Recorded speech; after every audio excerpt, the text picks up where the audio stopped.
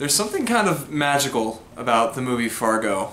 Um, the Coen brothers take what is essentially a crime drama, a story of a man having his wife kidnapped so that he can collect a ransom on it, and of a police chief trying to solve this murder, um, a series of murders. It's this very simple crime drama, but adding the kindest people in these roles and that North Dakota accent that I cannot do and will not attempt.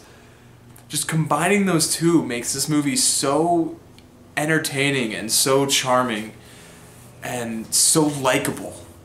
Um, Frances McDormand plays the most likable woman on the planet as a, a pregnant chief of police who is solving this murder while trying to satisfy her, her pregnancy cravings and dodge morning sickness and also supporting her husband with his painting.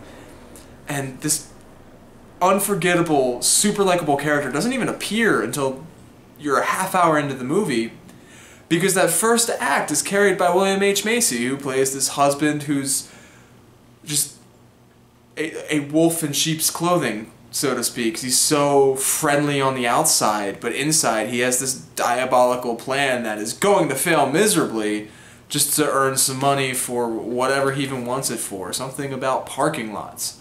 And it's it's just these two actors just play these two characters that are so similar and so different. And it just keeps you watching this movie.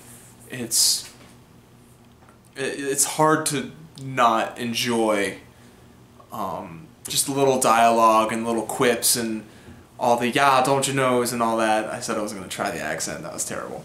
Um, it's, it's just hard not to enjoy this movie even though it, it touches upon some dark uh, sides of humanity. Um, but i think uh, margie says it the best at the end when there's when she says there's more to life than a little money.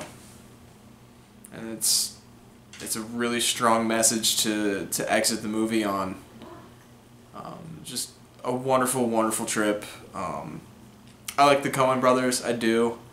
Um, I'm a little weird because I think Oh Brother Where Art Thou is my favorite of theirs, um, followed by Fargo and then Lebowski.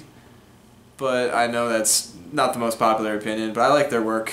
Um, and I'm looking, I might go see Hail Caesar. I heard it didn't get the best reviews. Um, it's their newer one, but I might still go check it out. Um, the cats have been adorable all night.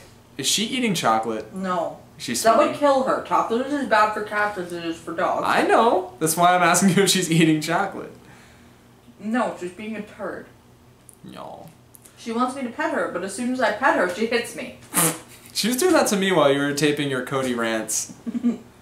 yeah, we, we just taped her her rant video from last night, and both cats were just surrounding her while she was yelling, and it was adorable.